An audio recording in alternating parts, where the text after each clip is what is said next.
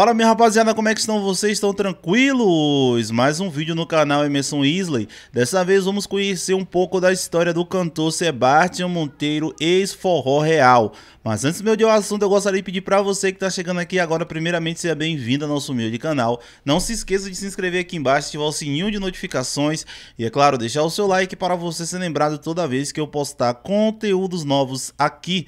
Lembrando a todos que este é um canal de entretenimento onde eu trago notícias, polêmicas, histórias, curiosidades e muito mais. Rapaziada, eu gostaria que vocês assistissem essa história até o final, porque no final dela tem uma surpresa para vocês envolvendo o cantor Sebastião Monteiro. Mas enfim, vamos ver um pouco da história dele.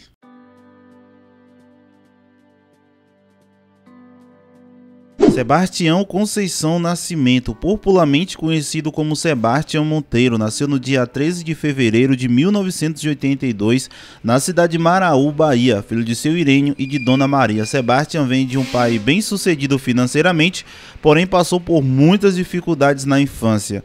Com apenas 4 anos de idade, seus pais se separaram e ele passou a morar com sua mãe, onde na época ela teve que cuidar de 11 filhos. E para sobreviver, ele teve que começar começar a trabalhar ainda criança para ajudar a suprir com as necessidades dentro de casa. E como passou sua infância na roça, ele trabalhava na lavoura. E na região que ele morava, a principal fonte de renda é o cacau. E lá ele trabalhava na limpeza das plantações e também na colheita, ou seja, fazia de tudo. E também trabalhava nas plantações de banana e de fazer farinha de mandioca. Início muito sofrido em sua vida.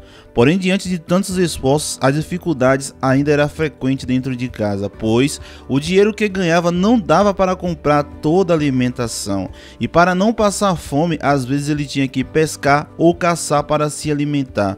Uma infância muito sofrida que sem sombras de dúvidas serviu de aprendizado em sua vida. Em um trecho para o canal Emerson Isley, ele fala que, entre aspas, tive uma infância muito dura. E ainda passando por todas as coisas, ele conseguiu estudar e concluiu o ensino médio. E justamente nessa época que a música entrou em sua vida.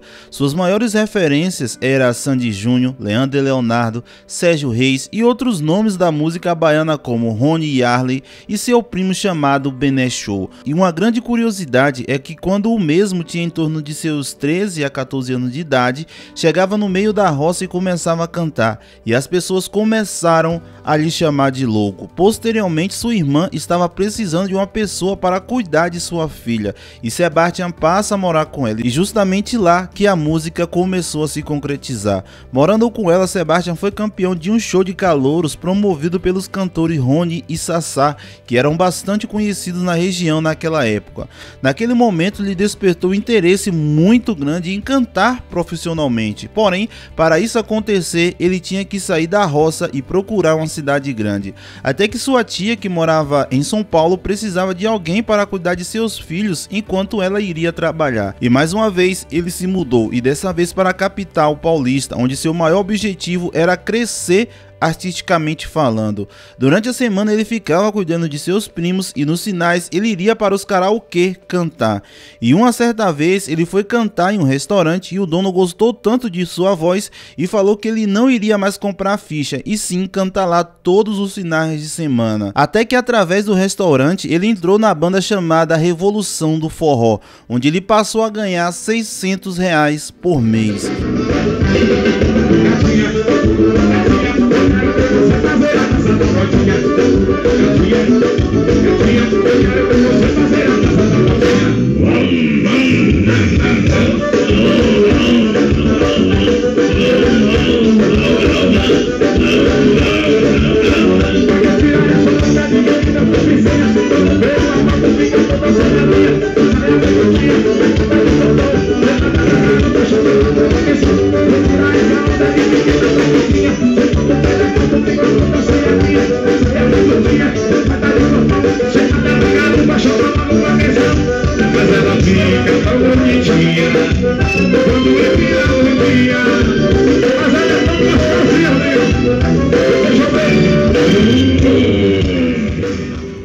como a banda era de São Paulo e Fortaleza era o berço do forró, o dono resolveu mudar a sede para lá. Porém, a banda não foi bem sucedida e o dono precisou vender todos os instrumentos. E nessa época ele passou uma das piores fases de sua vida, pois sem dinheiro ficou cerca de dois anos sem se comunicar com sua família.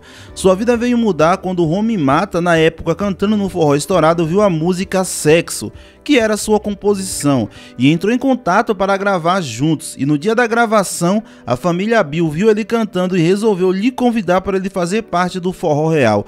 E lá ele ficou cerca de 10 anos, fazendo sucesso com inúmeras músicas.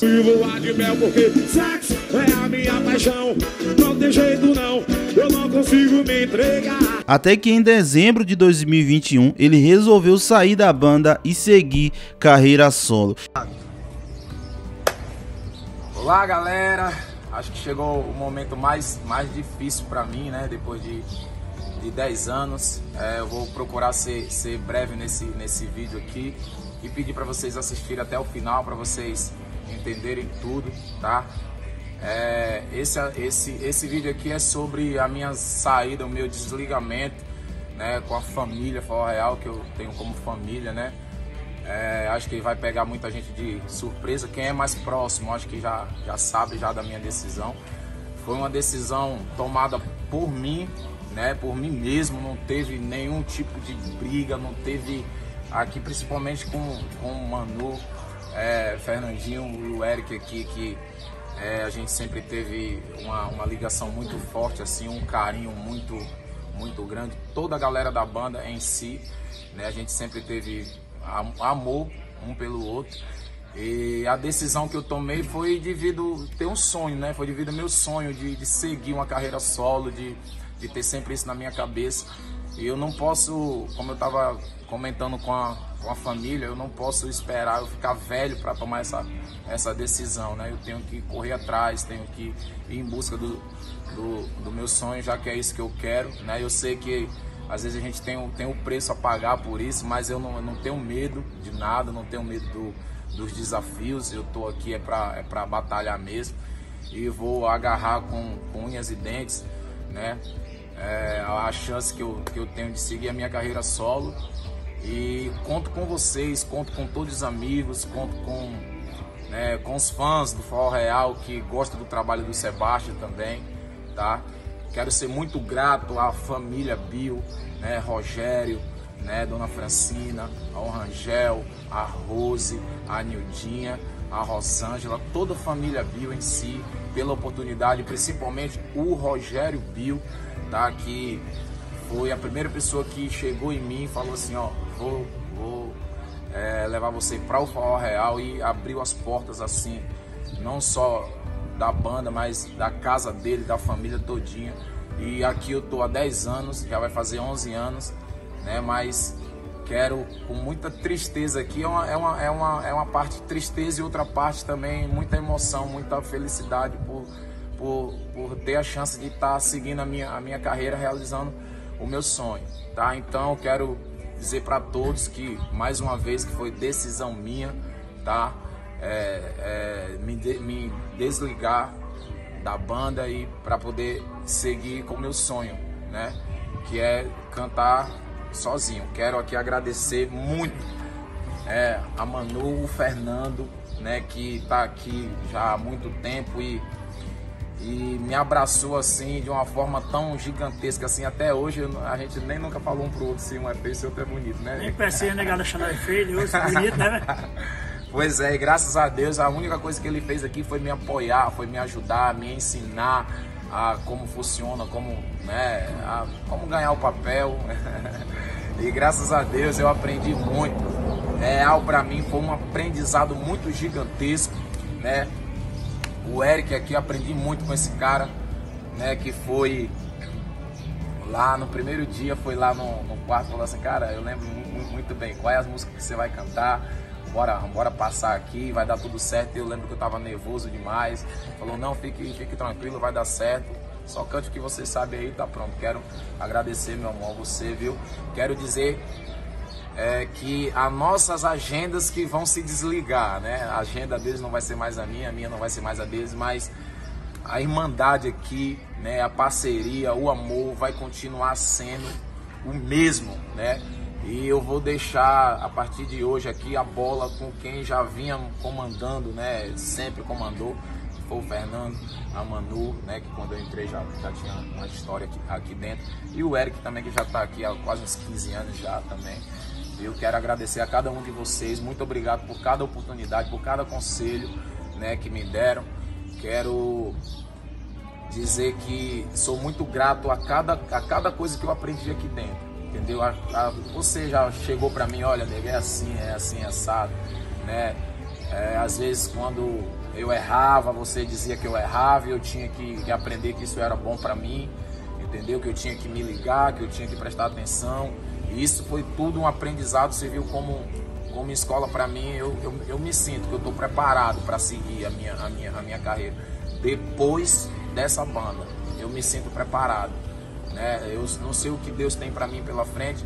Eu, eu, costumo dizer que talvez o que tenha para o Forró Real, que eu desejo muito sucesso né, para vocês, desejo muito sucesso e pode ter certeza que ah, se o Forró Real der uma explosão gigantesca no Brasil inteiro, falar assim, ah, Sebastião deve estar tá triste ou arrependido. Não, pode ter certeza que eu não vou estar tá triste, eu vou estar muito feliz pela realização de, de vocês, porque uma coisa eu já botei na minha cabeça possa ser que o que tem pro forró real não é para mim.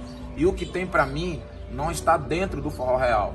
Tá entendendo? Então eu quero eu quero buscar outros horizontes, quero tirar a bunda do sofá, quero correr atrás, quero lutar pelo, pelo, pelos meus sonhos e é isso que eu vou fazer e sempre torcendo por quando vocês. chegar aos 50 anos não ter Justamente, quando chegar aos 50, eu não acabar a minha mente com aquela coisa de ah, eu não tentei, eu não tentei, eu não tentei, entendeu? E por mais que não, que não dê certo, isso aí não vai comer a minha mente. Né, quando eu tiver mais, mais velho, fica à vontade para vocês falar qualquer coisa. É isso aí. Você sabe que você foi e vai ser sempre um irmão nosso, sempre vai ser parceiro, né? Ou fora do dentro do real, fora do real. O que eu tenho de te dizer é te desejar boa sorte, Obrigado. muita felicidade, que Deus te abençoe, assim como Obrigado. a gente pede para todos nós. Bom projeto, viu? Obrigado. Deus está no comando sempre. Vou estar sempre aqui na torcida também. Amém. Se disser, já deu tudo certo. E vibrando com cada conquista. Com certeza, nós todos. Passa aí. Fica percebido para falar que a gente. Eu... Não, você já. já tinha dito até para ele é... que não, não queria despedida, porque a gente se acostumou com as pessoas, as pessoas é... do bem como ele. É o que eu sempre digo para ele, nos camarins, falo para ele, sempre quando a gente se fala por telefone. Ele merece um mundo, é uma pessoa muito esforçada, é um cara do bem, é um cara que corre atrás. E é isso aí, boa sorte, que Deus continue te abençoando. Você merece demais. E é como você falou, não vai ser fácil o começo, porque não é para ninguém, nunca foi.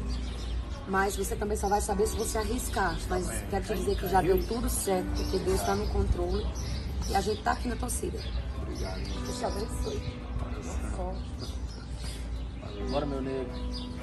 Eu acho que em nome do Forró Real a gente só tem a agradecer esses 10 anos que você nos deu aí desse, desse seu empenho.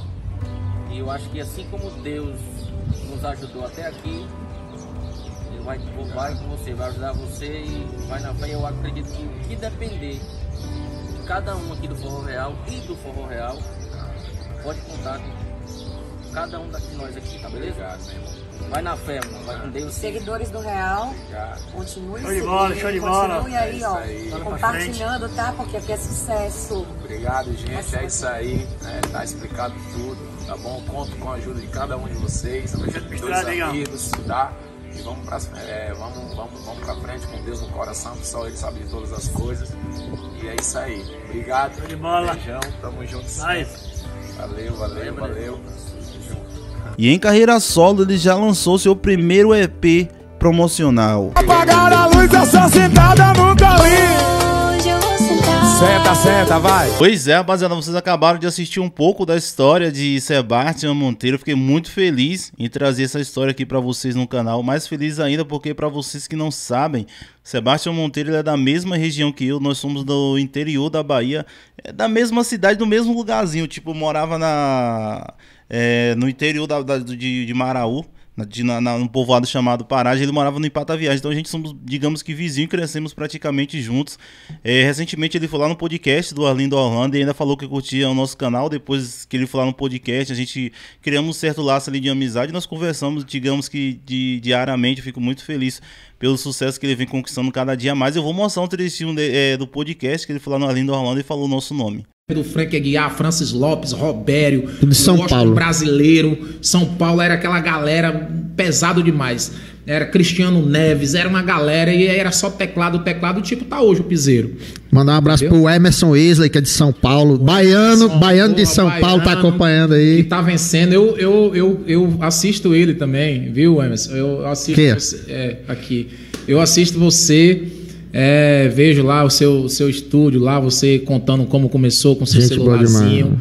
Né? Ele, eu vi, eu vi essa, essa história dele aí. É mais um guerreiro que tá vencendo na vida aí, meu irmão. Gente Tamo boa, junto, gente boa. Viu? Obrigado pelo carinho, tá beleza? E somos baianos, né, pô? É, é nós, viu? Parabéns aí, canal. Eu que sou fã de fofoca demais, eu, eu gosto de saber a Sou, sou curioso. Pra ficar bem informado é, é lá. Pra ficar bem informado, eu, eu sempre me ligo nele aí. Pois é, rapaziada, muito feliz aí em saber que o Sebastião também ele curte o nosso trabalho. Pô, eu fico feliz demais pelo sucesso dele. Mas enfim, esse foi o vídeo de hoje. Muitíssimo obrigado por nos assistir até aqui. Eu espero vocês no próximo. E deixe aqui embaixo nos comentários o que vocês acharam desse vídeo, porque o seu comentário é super importante. Um abraço e até qualquer momento.